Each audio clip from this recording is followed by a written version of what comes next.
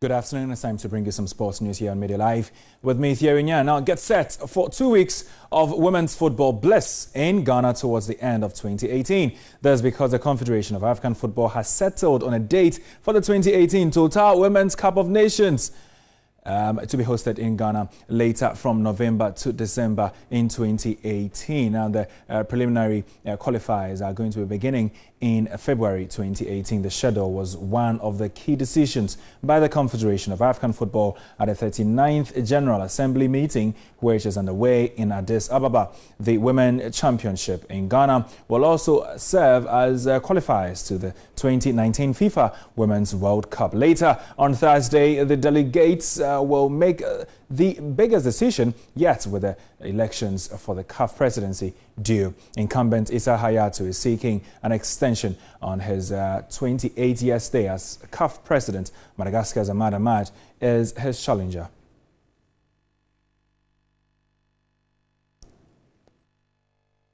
Now let's take you to the Alisa Hotel where 63 delegates uh, drawn from various sports federations um, have gathered to elect a president of uh, the Ghana Olympic Committee. Ben Nunoo Mensah, who was a, a member of Professor Dodoo's administration but resigned later, is contesting his former boss. Naneke Amankwa reports from the Ghana Olympic Committee Congress currently going on at the Alisa Hotel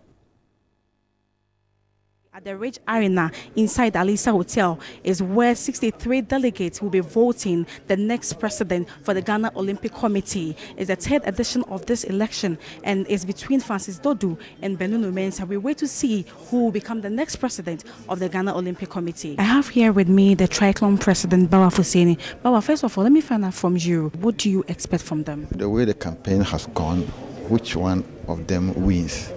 He needs to do serious reconciliation because there has been a sharp division between these two personalities. So no matter how or where it goes, the person have to reconcile with the other side for us to go because one side alone cannot do that. How do you see the performance of GOC for the past years now? From where I sit, from where I stand, I think the GOC have done enough. They are, they are doing they are doing a good job because they're able to rake in 170 million dollars sponsorship, and I know there is something on the Ghana, uh, Coco Ghana, and I know Jim Tiss is also coming on board. So there are a lot that they have done for what I said. Uh, but I don't know what other people also think. This one is, is personal view that I'm, I'm expressing. For me, they've done enough.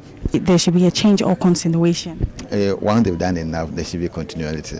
GOC President Professor Francis Dodoo has delivered his report from 2012 when he assumed office. The electoral commissioner present here are set for voting to get underway.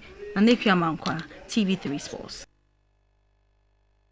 Now to some Ghana Premier League news and ahead of the biggest fixture in Ghana football between Accra Hearts of Oak and Kumasi Asante Kotoko at the Accra Sports Stadium on Sunday. Kotoko midfielder Eric Donkor tells TV3 Sports his side's concentration is on midweek game against Wafa at the Baba Yara Stadium later today.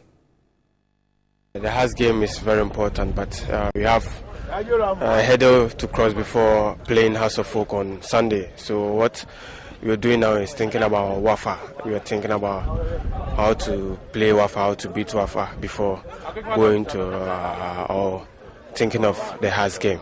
You haven't lost a match since um, the competition began. What has actually motivated you to put up such splendid performance? Okay, uh, the motivational factor is uh, the fans. We've gone two seasons without the league trophy. I think uh, the fans deserves better uh, they have to get something to cheer about this season. So we are doing our possible best to make them happy this season.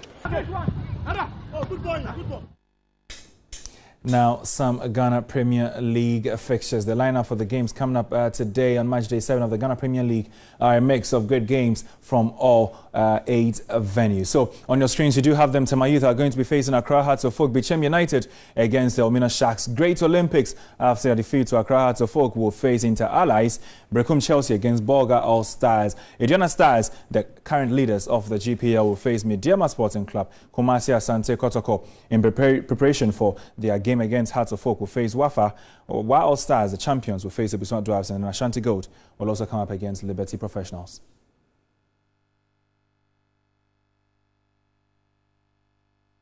And that's exactly how you bring an end to today's sports bulletin here on Midday Live with me, Theo Keep watching TV3.